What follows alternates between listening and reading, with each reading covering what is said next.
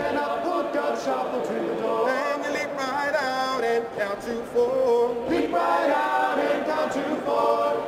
If my main don't open wide, If my main don't open wide, I got a reserve by my side. I got a reserve by my side. So, what's up, my peeps? Matrix Native here. Today's video, that's right, cupcakes, another military build. So go ahead, have a seat, grab your popcorn, your beer, or your Coke. Not that kind of Coke operators. Jesus Christ, get your minds out of the gutter. Anyways, my peeps, let's get on with some comments. Okay, so for today's video, we had four suggestions, and my peeps voted in the 82nd Airborne Division 1. Hoo hoo, 80 deuce. 33% they won by. So, check out my Twitter feed tomorrow. We will have four more suggestions. So, if you made a suggestion, make sure you get on my Twitter and vote on the poll. Next, Vatro. You are the best Wildlands YouTuber. Keep it up. Thanks a lot, Vatro. Again, my peeps really motivates me when you guys comment. LeBron James, you guys didn't know I knew him, did you? You're a superstar, underrated. I'm sorry, I am a superstar though. You're a super underrated Wildlands YouTuber, one of the best in my opinion. Pat Mac 79, love the new controls and crosshairs, and that comes from the new DLC that they did for the schematics on the chopper. That will be in the description as well. My peeps are at the end of the video. Next up, Capricorn Vapes. Hey Matrix, nice video. I tested the new gun aiming mode on the choppers too. For the first time to my knowledge, I ran out of bullets and rockets. I don't even remember that happening before. I believe they had infinite ammo. Correct me if I'm wrong. And as I say in the comments, it's always been like a Rambo Infinite style M60.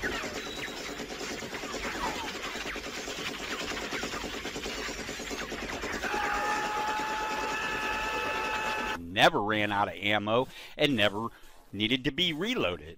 I have never heard that before running dry on the beer and dope or beans and bullets if you're an OG troop like me. My peeps, if you remember before the patch, if, if you had infinite, go ahead and leave it in the comments. I believe it was. Zooty83, great vids, bro. One of the best, if not the best Wildlands YouTuber. Thanks, Zoot. It really does mean a lot. Hark, hark, hark.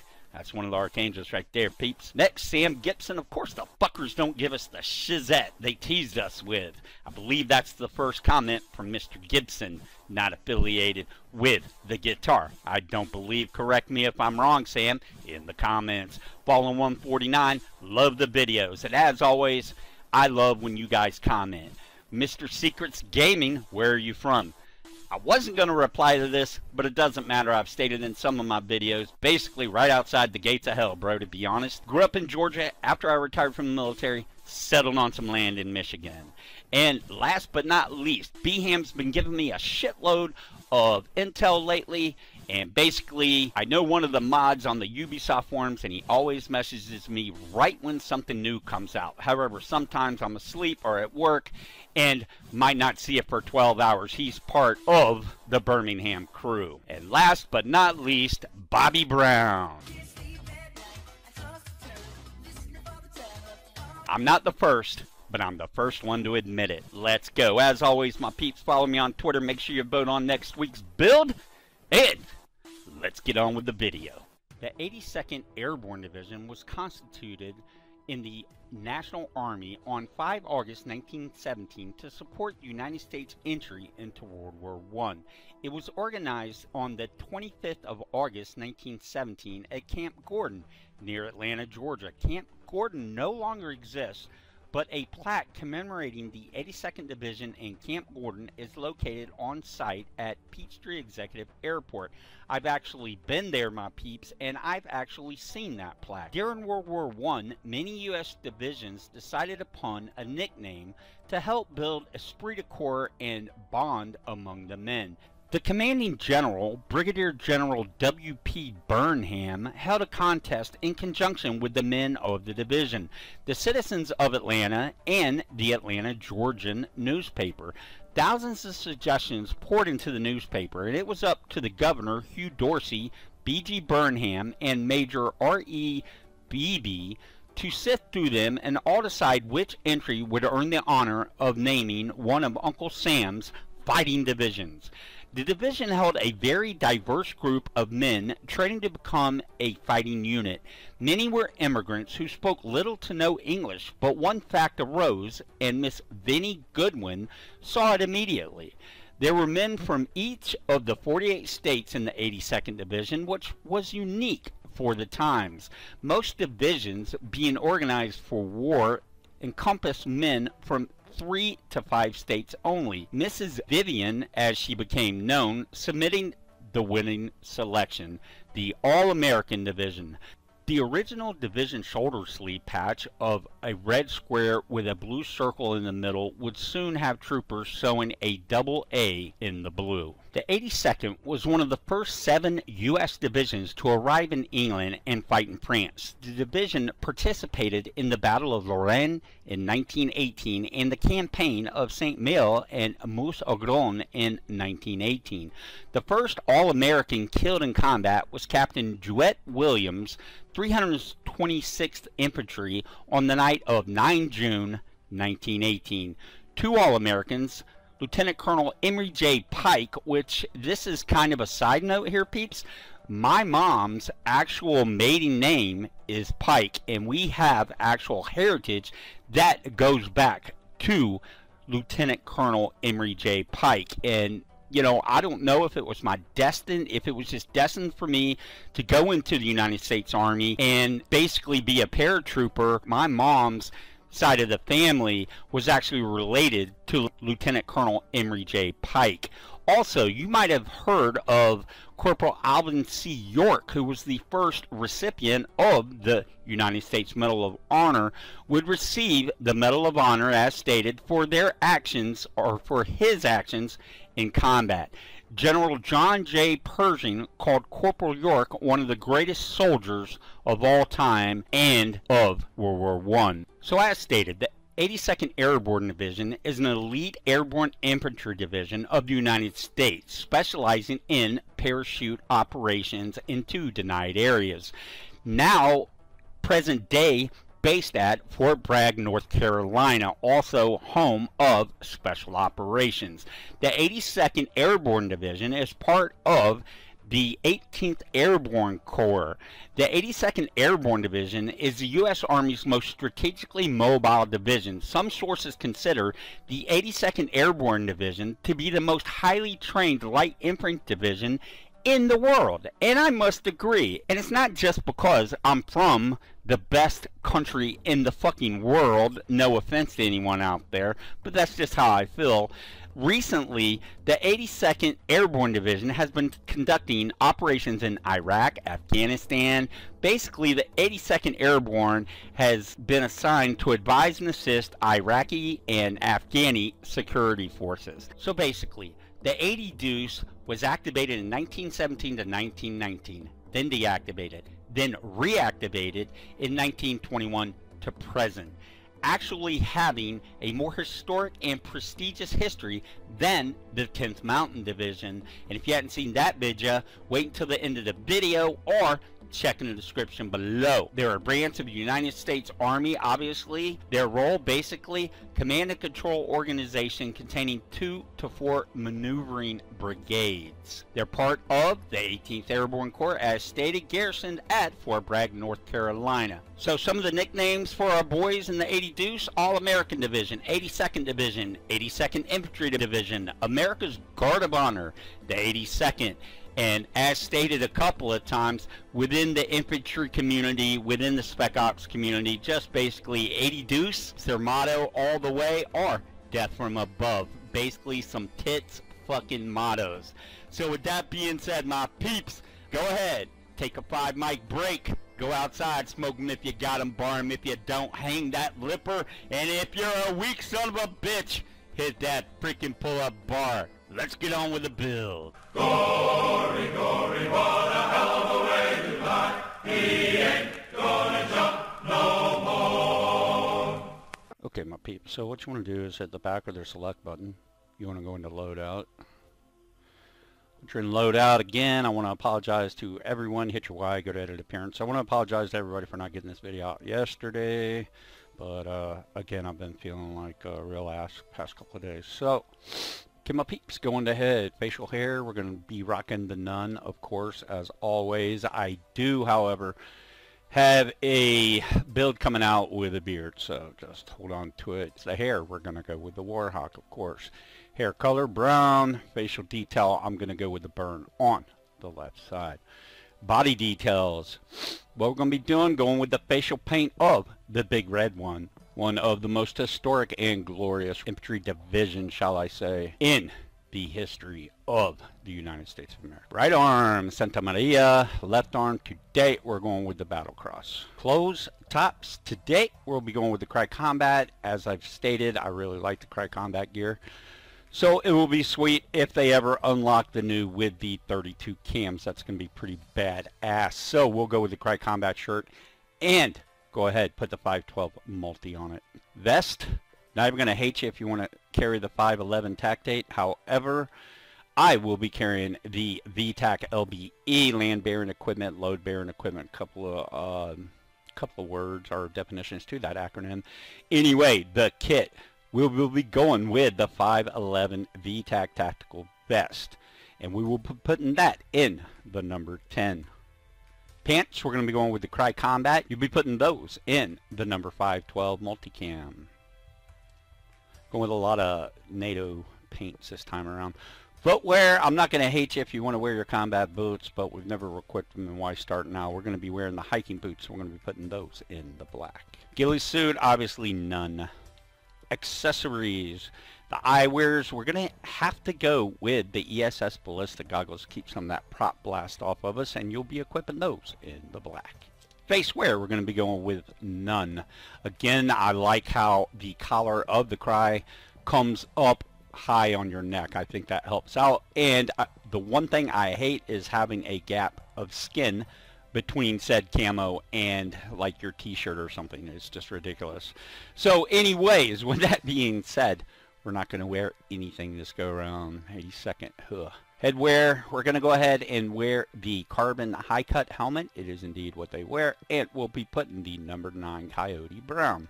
Headsets, we're just going to go ahead and equip the earpiece for this 80 deuce build. And we'll be putting that in the 4.6. Handwear, uh, you know, I thought a little bit about this, but really after thinking how much you will utilize preparing your kit and such, you know, strapping everything down with the 550 cord, you know, so it doesn't fly off your LBE and all that. So, you know, you got to have fingerless for the paratrooper. For this build, again, fingerless Kevlar, and we'll be putting that in the number 2-5. However, I'm not going to really hate you if you want to go with the Oakleys. I mean, after all, you know, this game isn't like even near 80% realistic. So we'll go ahead if you want to stay with the 80 deuce, my 80 deuce build, 2.5 black, but to be honest, I'll probably switch those out to Oakley as needed in operations. Rucksack, we're going to go with the 511 Rush 72, um, whereas the 511 is more of a mobile ruck. It doesn't matter if you strap your leg to begin with anyways. So, again, we're going with the CAD Pat. We're going with the 1933, and I know I might get some comments, but for me personally, I feel like it fits this build 110%, even though I know you won't mix and match your paint out in the field, so to speak, but you never know. So this to me definitely does what we need it to do as far as shadowing, keeping your shadows in structure, and after all, that is why we wear camo. So go ahead, put it in the 1933. I'm not hating you. If you would like to put it in the chocolate chip or a variant of other multicams. But to me, to me, my personal opinion, I like the CAD Pat AR on the rucksack for this video game. Patches, obviously, you can go with any patch you want. I'll be rocking the Romeo 9. Okay, my peeps, weapon loadout. Go ahead. Primary, we're going to go ahead and equip the LMG, the MK48. Part of the reason why is so we can get that fancy, cool uh, magazine pouch to the front on our LCE. It's the boxed ammo. It's pretty hood. You can only get that if you equip the LMG as your primary. So let's go right into paint presets. Paint presets, we're going to actually be using some different paint presets today. On one I have the bronze, on the other I have the dark bronze. And you're thinking, Matrix, why are we equipping a metallic type of camo? Won't the reflection give us away? My answer to that, absolutely not. It actually blends this camouflage in very well. So, with the LMG, we're going to go ahead and put it in bronze. We'll put our secondary in the dark bronze, and you yourself can go out and compare the two. And you might want to go strict dark bronze or strict bronze, or, you know, put them either or like I have them equipped. So, go ahead and equip the MK48 in the bronze parts, stock bud stock, go ahead and put that in the black. Scope, I'm not hating you. If you want to use the panoramic for this build today, we're going to be using pretty much what they use. Unfortunately, they don't give us the ACOG as an option, so go ahead and equip the EXPS3 or the panoramic and put that in the 2.5 black. Trigger, only one way there, full auto only magazine. Of course we're going with the extended. Why wouldn't we? And we would be putting the mag pouch in the 2.5 black. Vertical foregrip and I'm going to tell you why we're going with this foregrip. It's an absolutely good foregrip to use. And again I'm trying to keep it level. I'm trying to keep it pretty much balanced to accuracy and handling. And as you see there the foregrip that we go to quite a bit the Victor 2, obviously, you know, it gives up just a little accuracy. You gain a little handling, but to me, for this build, the vertical foregrip is what we're going with. It keeps it nice and balanced out, and you'll put that in the 2.5 black. Rail, we're going to keep it simple. We're going to rail cover. Again, we'll be using this for grazing fire and effectively on a target within 100 meters. So we will not really need any type of laser sight. As you see, you draw accuracy, but your handling definitely suffers. So go ahead and put that in the rail cover in the 2.5 black barrel we're going with the standard barrel why would we go with the long barrel again we're trying to keep everything you know, balanced. And again, if you go with a long barrel, we're not trying to snipe with this weapon. So go ahead, put it in the standard barrel and put it in the 4.5 tan. Muzzle, we're going to be going with the compensator Victor 2. Why wouldn't we be? And we'll put that in the black. And for my peeps that don't have the compensator Victor 2 open, go ahead and try to open it for most of your weapons because we definitely, definitely, definitely use this compensator quite a bit. You'll be putting that in the 2.5 black. And that's pretty much what you'll be carrying as an 80 deuce troop, the MK48, a very remarkable and battle-tested weapon. Okay, secondary. Again, this is a heavy gunner. That's more specifically what we're going with for this troop today is a heavy gunner loadout as far as the weapons go. And of course we'll be carrying the M4A1 because that is actually what they carry. So let's get on in to the paint presets. As stated, we're going to be putting this in the dark bronze. So go ahead and equip that, take them both out, see which one you like the best. Again, if you don't have these open, just put both the weapons in the dead leaves and go ahead and put all your exterior parts go ahead and silhouette them out black them out just put them in black my peeps if you do not have the bronze paint open. Go into parts. Of course stock bud stock we're to put that in the 2-6 black. Now on the scope, I'm going to give you a couple of choices here. Basically, you can use the digital scope. That's what I'm going with. You can use your panoramic for this video game. I, I still really do like this scope, but seeing how we're going to be using, using this weapon pretty much from 400 meters all the way in to ground zero, we'll go ahead and equip the digital scope so that it gives us a little more range. Plus, I like the digital scope, but you can equip the panoramic, the EXPS3, or obviously the ACOG. But for this build, what I'm using today will be the digital scope. We'll be putting that in the 2.6 black. Trigger, full auto semi. Magazine, of course, we will be equipping the Extendo 50. If you don't have this open, go ahead and equip the 30 or the 20. Just watch fire control on target. Put that in the 2.6 black. Underbarrel, why wouldn't we? We are going with any chance I get to carry the noob tube here, I'm definitely carrying it. The 40 by 46 millimeter NATO a Mike 203. Just a whole lot of loving in a small little tube. Go ahead, put that in the 2.6 black. Rail, we're going to keep it clean and we're going with the rail cover. Again, trying to keep everything balanced. If you go ahead and put a laser dot sight or a rangefinder, as you see, you lose quite a bit of handling. So go ahead, put the rail cover on and equip it in the 2.6 black. Barrel, no reason to carry a long barrel. We are not outfitting this M4 as a DMR, so we will go ahead, equip the standard barrel. Again, you see the long barrel. Again, you lose the handling. We're trying to keep this weapon buffered down, so we'll go ahead and equip that in the standard barrel 4.6 tan. Muzzle, go ahead, pull up your suppressor. As you guys know, I like to have at least one of my weapons that are slung over my back. I like to have at least one of them suppressed. It is very unlikely that I will go out in the field without a suppressor on one of my slung weapons. So, with that being said, go ahead, put the suppressor in black, go to your stock muzzle, put it in 2.6 black, and equip the stock muzzle and switch to the suppressor as needed on target, as usual. And that, my friends, is our secondary for today's loadout. It would be our primary. Again, though, I want to go with the LMG as our primary so that when you look at the LCE, you will definitely be able to see the different mag pouch you get when you equip the LMG as, or the MK248 as your primary. But this right here, my boys, battle tested, true and true the weapon of choice for most of your line units and quite a lot of your high-speed units in the United States military, the old M4A1 with the tube underneath. Let's go. Handgun, we're going to go ahead and equip the Beretta M9. It's what they would be carrying, so why not? You know I love my M1911. However, the M9 Beretta actually did take the place of the M1911. So, paint presets, if you don't have this, the blue gray just go ahead and put it in black and just equip everything in black except for your barrel you'll put that in gray.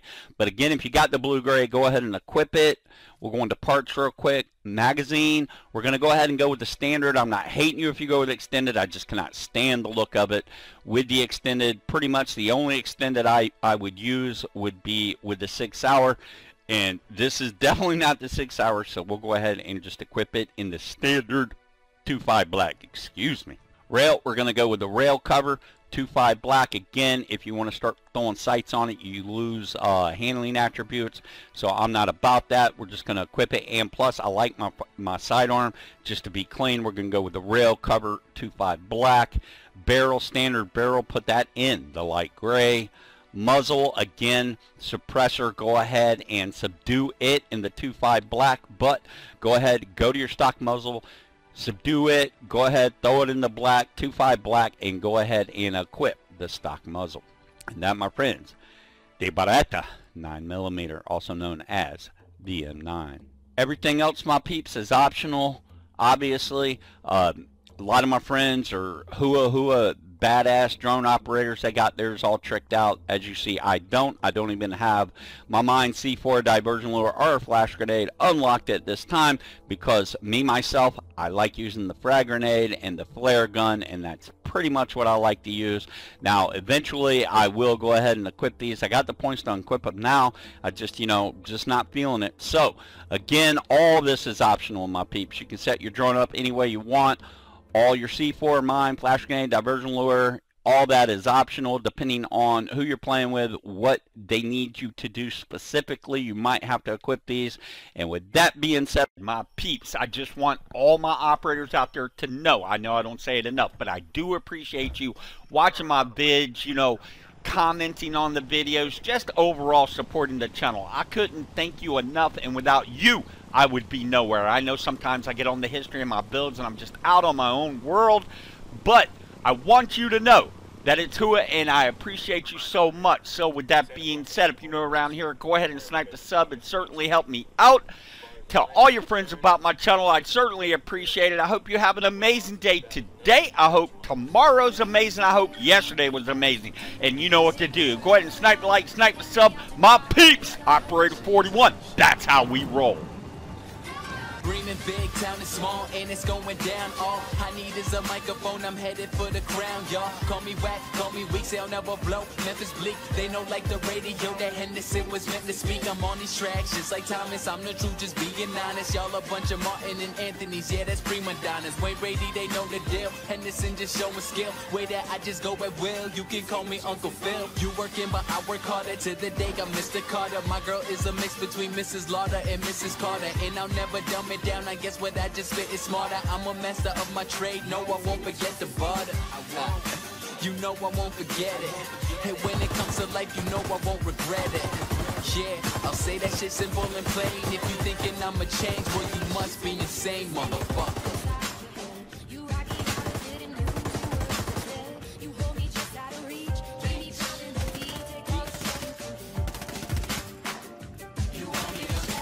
Still me, uh-huh, I'm still Henny I've been feeling like the one and you just one of many, uh. I'm still me, uh-huh, I'm still Henny And I'm feeling like the one and you just one of many. Ah, Jigga had that hard knock life, 50 getting rich or die. Headed to that B-side records looking for some shit to buy. Had that Eminem when Nelly spoke that country grammar Drake Chronic 2001, well that shit hit like a hammer. Had that Kanye West right around when he dropped out. First fabulous stats when Luda popped out. Southern hospitality, that shit shaped my reality. Killing it with Styles P, that shit was like a casualty. Yeah, listen